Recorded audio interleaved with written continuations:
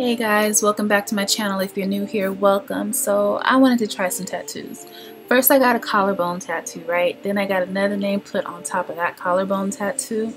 And then after that, I wanted to try something different. I wanted to try a thigh piece, and the thigh piece was really stinking cute. So I put another piece on top of that one, right? And then after that, I wanted to try something all on my wrist and I got a butterfly put there and then I went back because I got bored and I got another collarbone tattoo well right underneath it.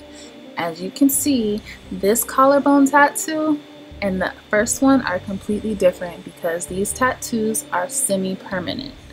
They're not temporary. They don't come off easily trust. So as much as I love my custom tattoos normally I keep my sources to myself but I wanted to share with you guys. So we're gonna talk about body art. That body by low got your girl looking right. Okay meanwhile you have to keep these hydrated so the ink won't crack or start to look old early and you can completely shower with them. Ocean water just might do the tattoos harm, but chlorine you just might be okay. And if you exfoliate, it's going to take them off faster.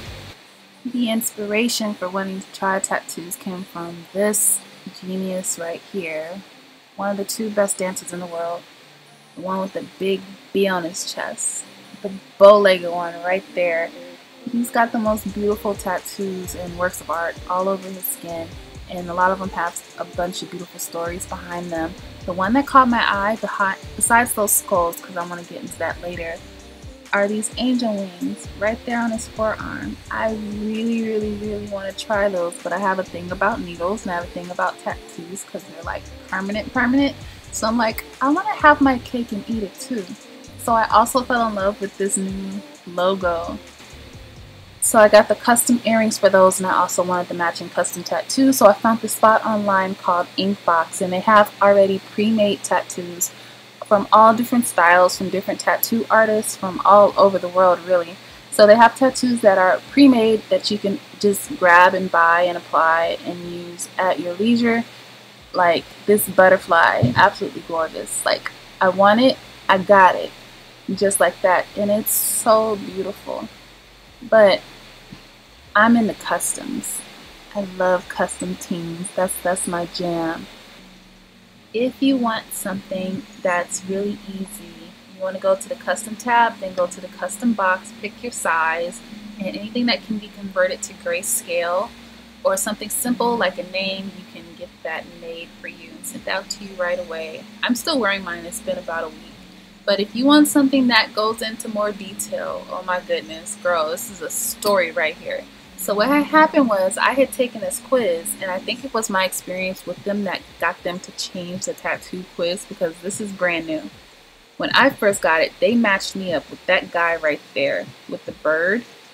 And for the tattoo that I wanted, I wanted the angel wing tattoo. And it's not that this artist can't draw, it's just a different style of drawing. And that's not what I wanted.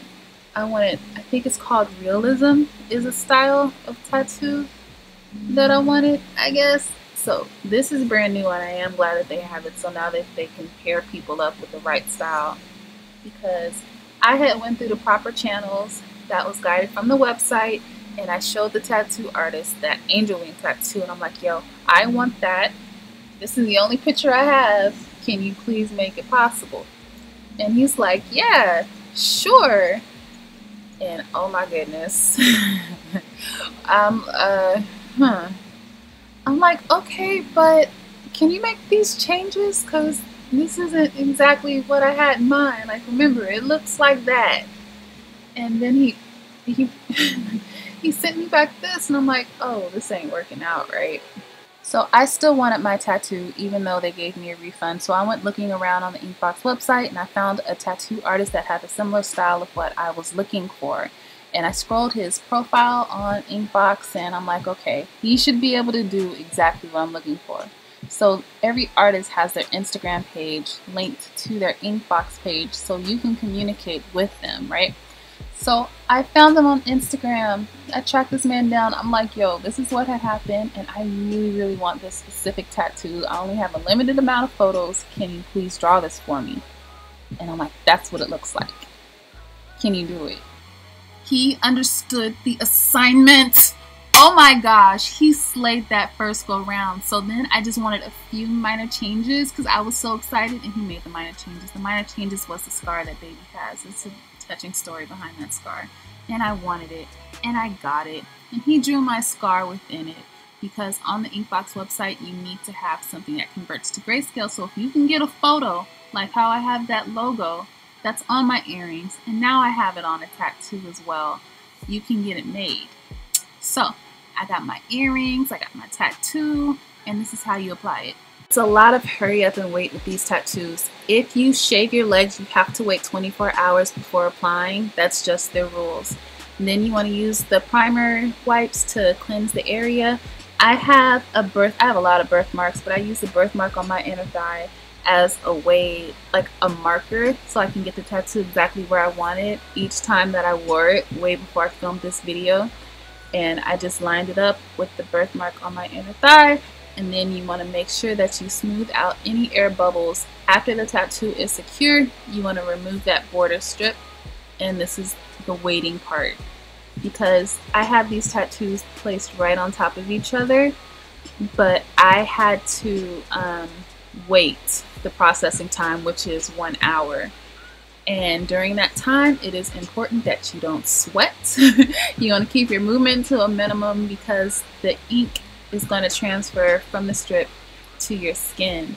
And the application strips are very delicate. It's a one-time only thing. So if you're moving about and they touch, you're basically SOL and you're going to have to get another one. So what I had to do for the first one, for the logo and for the butterfly, is I sat still for an hour and I had a fan going on me just so that I can keep cool because the ink can and will run if you get hot and it just does that. So once you remove the strip, the ink is going to be a light blue, light green color until about 36 hours. It's just going to keep getting darker until it turns like black. You're going to want to wear something long sleeves or long pants because you don't want the ink to transfer as it's getting darker. Now, my ink smudged. My ink smudged because I got hot. Like, the first go around, I was watching cartoons as the ink developed, right?